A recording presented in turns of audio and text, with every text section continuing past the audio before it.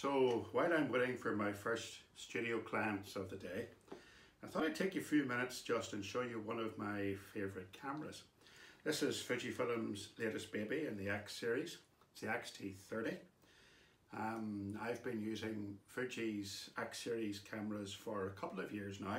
I absolutely love them, they're great cameras. What I especially like is that they are modelled along the lines of the old film SLR cameras.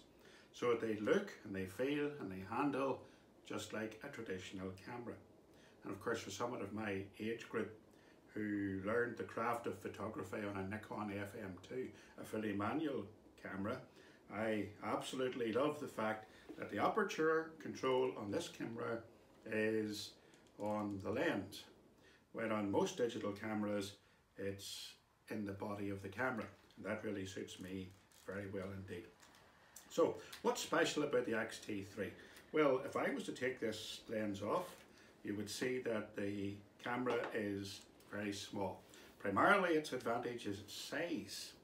Um, it's a tiny camera, you can hold it in the palm of your hand and that makes it great for any kind of unobtrusive photography, whether at a wedding or out on the streets. It's great for street photographer, for street photographers. And of course, if you're going on holidays or traveling anywhere, you can just shove this in your pocket, take it with you, or you can pack it in your bag and it's very unobtrusive indeed. So what makes it different from other smaller, less expensive cameras? Well, it's Fuji. It's mirrorless.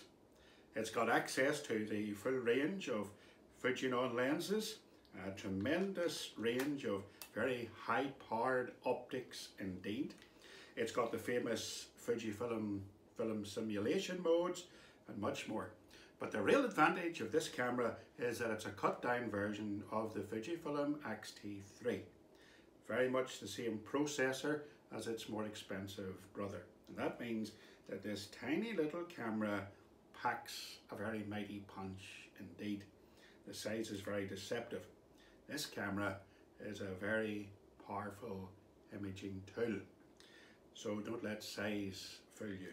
Right, it's time to go and prepare for the first studio photo shoot of the day.